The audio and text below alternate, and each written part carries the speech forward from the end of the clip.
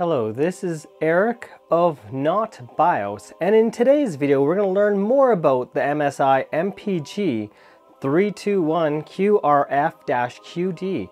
And of course, we're also going to learn how to use the MSI KVM. So whether you have the 4K model or this model, and what to do, and a bit what not to do.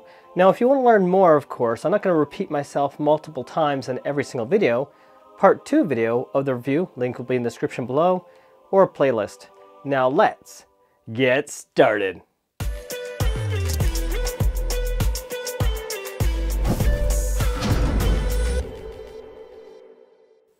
Now to start things off, what are my particular thoughts on this computer monitor? Well, it is actually really good for gaming and I quite enjoy it. However, there are some updates that could be done on MSI's part to actually improve this. They use the same algorithm for pixel, for pixel refreshing, as they do on their VA panels and it's quite obvious. And if they actually change it to make it more to this Innolux model of monitor, it can improve things such as the possibility, avoiding the possibility of image retention in blur busters. Of course, gaming, that's not a problem, but still, my firmware version is 030. She uploaded this video and then AF commented about local dimming zones and HDR 600 and I was thinking, wait a minute. In Windows, there's no dimming zones I could see. Turning on HDR in Windows it seems like we may have found something. We're to go to black screen and I'm to use a white box and move it around the screen. It seems that there is full array local dimming, but you need HDR specifically turned on to see it. So as we see the screen's quite black with uh, HDR on, which is actually pretty good. Now I pull this box up and all of a sudden we see the glow appear from the side. And it's going along the top. It's not exactly the best type of thing, but of course that's only zones. You can see it right in the top corner here. As I move it along, there is some form of local dimming. So yeah, we got local dimming with HDR and HDR has to be turned on in Windows to see it. Pretty cool stuff. But you can see, why do we need light up here when the object's up here. And that's what I don't like about full array local dimming. I sit. Corrected. And how about image uniformity? That has changed since the first review of this monitor. As I expected, high-end IPS monitors tend to improve on uniformity of panel, somewhat at least. Compared to my part 2 review, black uniformity has improved. I used to have light clearly showing on the bottom right hand corner of this monitor and now it is generally pretty decent. So black uniformity is about average or so and I don't notice when movie watching or normal use at all like I actually noticed on my MSI MAG VA panel that is, which I also reviewed I'll have links in the description of that as well if you want to see that. And you'll notice that little red dot, that is actually a stuck pixel I have on this particular monitor. And since my screen is completely black and the camera's looking for light, it's made that stuck pixel even more obvious. During normal use, I don't notice it. And it seems to be noticeable only on black or really dark screens. So here we can see some USB ports. We have a USB port here, and we have another one here connected. But I'll show that in a moment. And right here, we actually have our headphone jack, so we can actually listen to music or whatever through our 3.5 millimeter when connected through DisplayPort to the monitor itself. HDMI couldn't get working. It might have something to do with the NVIDIA drivers. Uh, I have a 3070 graphics card. And I believe this is a mic in port if I'm not mistaken. And what is this connected to? This is connected my speaker right beside here. Otherwise, I have to run the cable all the way from here all the way underneath the desk where I have my computer tower, and this is a lot more convenient. So what if I had a headset I was a gamer? I think here is a lot more convenient than going all the way underneath the desk or wherever your computer tower is, having it close up by your screen for uh, game streaming and whatnot, then, uh, well, you decide. What's going to happen is the audio is going to stop once it goes to standby. So if that is not something you want, you may want to leave it connected to your computer tower. So if I fall asleep, I personally cannot fall asleep to music playing. So for me, I want to stop playing sound, which is absolutely perfect for me. So you may wonder, how does the KVM switch work on this MSI monitor, or even the 4K version? Well, I'm about to show you. And by the way, connect your devices to the monitor. So your keyboard and mouse has to be connected through the USB hub or else it won't work. I just gave you one of the answers. So if you're having problems, you do not have your keyboard or mouse connected to your computer monitor's USB ports. And that's the first mistake a lot of people are making.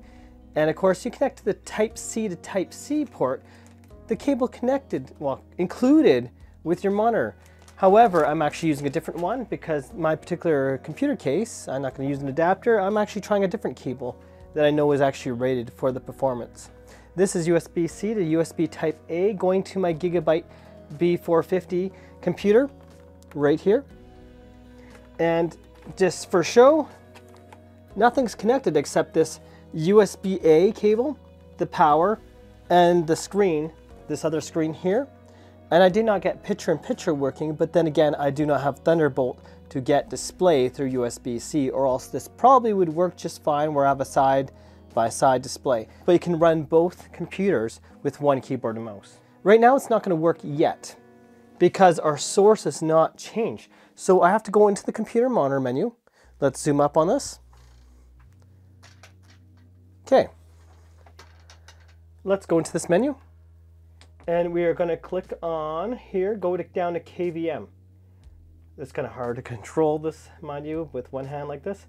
And we have to change to type C for KVM because we're connected type C. And now if I go to this computer, watch what happens with the cursor. We have a cursor moving and let's go down just slightly so we can see and my keyboard is working on this computer but it doesn't work on both at the same time so that's one thing to note and of course your hub ports will work with the USB-C connected for the power that's pretty freaking sweet I honestly think now you know how to use your KVM switch on MSI.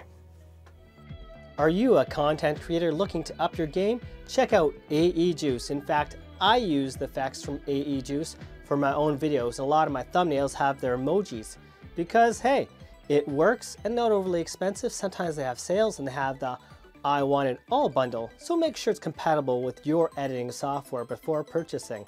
Or are you looking for more music and sound effects beyond what AE Juice sells, and you want a lifetime subscription, mm -hmm. check out Audio. Links in the description below.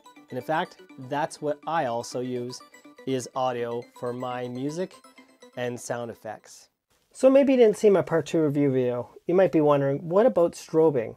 Well, strobing is useless. Strobed image at 175 hertz in slow motion, 120 hertz, 144 hertz, 165 and 175 hertz strobed. So in terms of modes, you may wonder, do I run in OC mode, which is 175 hertz or 165? Well, I've been running 165 because I want to leave it at 10-bit color all the time. Honestly, I don't recognize a difference in image quality whatsoever having it 165. So feel free to run 175. One thing a lot of people had a question with is wall mounting. How do you wall mount this or basically any MSI monitor? Well, this particular monitor itself is a little bit different than some because some MSI monitors have all four screws behind the stand. This particular one has, well, here's an image, two attached behind the stand and two in a little bag, which is very strange. So it's 100 by 100 millimeter mounting. Here's a standoff. This is included in the bag. You have four of these. This goes into the monitor itself. So this can go into the back of your monitor for mounting. All four of them in your 100 by 100 millimeter mounts. Next, this wall mount is going to go against these screws. So this can be your monitor right here. My hand is my, your monitor. Then you got the standoff, the monitor here, and the standoff's holding it off the monitor. And your four screws are going to go on this side. If you have any problems with mounting, the holes are too big, you're going to have to get some washers. And it's simple as that for mounting this particular monitor. HDMI, of course, is not to get your full speed. I believe it's 144 hertz or something like that at 1440p. I'll put that above. That's different than I just said. But yeah. Night vision, as I showed in my review originally, can saturate color tones and it'll get those black levels more under control. But I recommend just setting it through Windows, which I'll show right away here in a moment. Now gamma. How about gamma? That's one thing that we need to change. And I found through the NVIDIA control panel, should be fairly similar in AMD, for the AMD control panel, you can adjust your gamma. And I had to do this with the LG 27GL850. It's had to adjust the gamma because a lot of monitors don't include a gamma setting. It's not like it's a huge difference, but that way I can avoid night vision if I want to brighten up just a bit because there is a bit of black crush. So my gamma I changed to 1.1. I suggest not ever putting it higher than 1.2 on the control panel, but say between 1.1 and 1.12 is a good happy medium where you get a bit more brightness. So if you actually change it higher than 1.2, the problem that happens is you lose a lot of contrast and a lot of that strong image quality feel and that just ruins your experience compared to what your experience was with this monitor otherwise because the strong contrasty colors makes everything pop and honestly that's the biggest reason to get this quantum dot monitor over some old cheapo, El Cheapo monitor. If you're gonna pay the price, you might as well get the feature of it. Well, first of all, the settings out of the package are just gosh darn awful. I would not use the recommended settings that are out of the package. Eco mode, yeah, saturated, just looks bad. The black tones are bad. Out of the package, I wouldn't accept this whatsoever. However, once you change settings, it can be a lot better. Game mode, don't even bother with that. A lot of people like, how do I get to game mode? Well, you got to change out to eco mode. But eco mode settings, if you go across there, professional is a lot smarter. Look here, the color tones are extremely overshot. And right here, the dark tones right here are too crushed together. And this is out of the package what you get. It's not a good experience. In fact, the camera doesn't show how bad it really is because this looks so much darker than it is on camera, the orange color. Now, if I go to professional, go to pro mode, because right now we're on eco, I have to accept the change. So now I can go to my other modes. The adaptive sync, you are better off in a lot of cases leaving it off. Whether you have the 4K model or this model, yeah, the Quantum Dot 4K, they make a 4K version if you didn't know. It's best to leave adaptive sync off in several cases. You might notice the occasional flickering happening I didn't really notice in any games whatsoever, but I might have noticed in The Witcher not really thought anything of it. But when I was actually doing my video editing, which I was using Magix Vegas, in the gray like gray area where there's no objects, I could see flickering. If you turn adaptive sync off, you can solve that problem uh, altogether if you have any flickering issues. And at high frame rates, not a problem. I don't suffer from any image tearing at high frame rates. However, if you are low frame rates, once you're below 48, doesn't matter because it's turned off anyways. But if you're lower frame rates, adaptive sync is quite important to have to avoid image tearing. At least can be. So image retention means you can get, say, um, if I go on Blur Busters, this is specifically a test, not I never seen it in the game. You can actually get the little squares that are white checkerboard so this is the Blur Busters ghosting test. If I pause this, it will look blurry, mind you. I'm running the camera at 30 FPS. This is at 165 FPS right now. So no matter what the refresh rate, these white dots will have image retention on my Windows screen. So I'll exit this, and especially on a black screen, I'll see these white dots remain. So let's get rid of this. Do we see these white dots here? Let's zoom in.